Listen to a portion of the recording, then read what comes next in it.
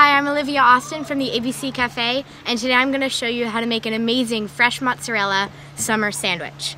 So all you need is an Asiago bagel, tomato, fresh mozzarella, basil, olive oil, and vinegar.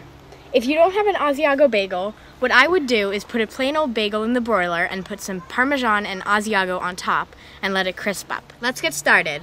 So the first thing you're going to do is cut three slices of mozzarella.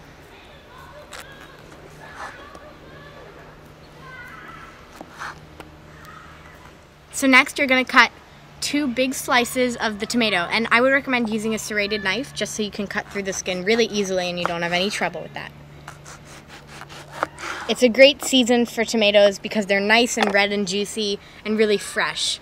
Okay, and I also have this really wonderful basil from my dad's garden.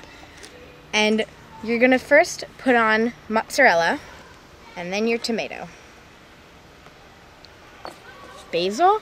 And I like to go really heavy on the vinegar because um, of all the other flavors in the sandwiches, it doesn't come through very well, and I love vinegar, so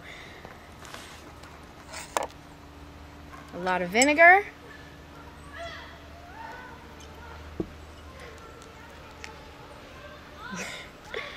and some oil.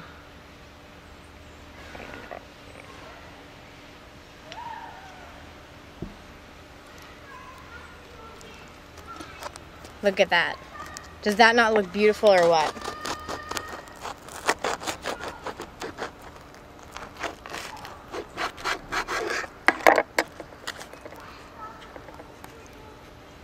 Yum.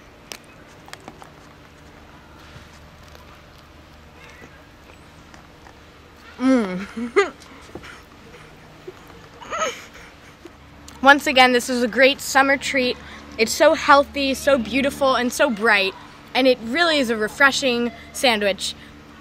So I hope you enjoy it, and it's as easy as ABC. I'm Olivia Osten from the ABC Cafe. See you next time.